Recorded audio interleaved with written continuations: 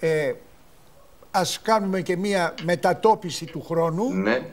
ε, την εποχή που διαδραματίζονται τα θέματα με τον Δημήτρη Λιγνάδη.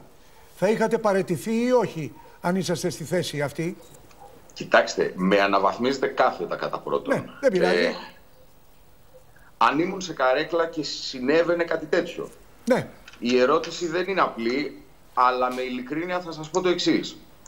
Πιστεύω ότι άμεσα θα έκανα δύο πράγματα. Θα έθετα τον Δημήτρη Λιγνάδη σε διαθεσιμότητα ναι. και την παρέτησή μου στη διάθεση του Προέδρου.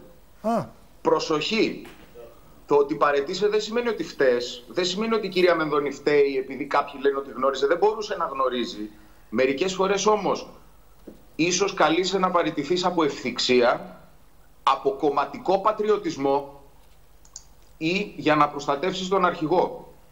Έσκασε μια βόμβα, θα χρησιμοποιήσω μια έκφραση που δεν επιδοκιμάζω της κυρίας Δούρου, στραβή στη βάρδιά σου δεν σημαίνει ότι πρέπει να φταίς για τις φερόμενες ως πομπές του οποιοδήποτε Δημήτρη Λιγνάδη για να καταθέσεις μια παρέτηση. Όμως αυτό, και κλείνω την απάντηση μου έτσι, δεν σημαίνει ότι λέω ότι η κυρία Μενδώνη θα έπρεπε να έχει παρετηθεί. Με ρωτήσατε τι θα έκανα εγώ. Και πιστεύω ότι εγώ, κύριε Παπαδάκη, αυτό θα έκανα. Εμέσως θα, πλην, θα σαφώς έθετα τώρα, τον κύριε Λιγνάδη Μπογδάνο. σε διαθεσιμότητα και την παρέτησή μου στη διάθεση του Πρωθυπουργού. Διαπρέπετε Από στην- κομματικό πατριωτισμό Μάλιστα. και για να προστατεύσω τον Πρωθυπουργό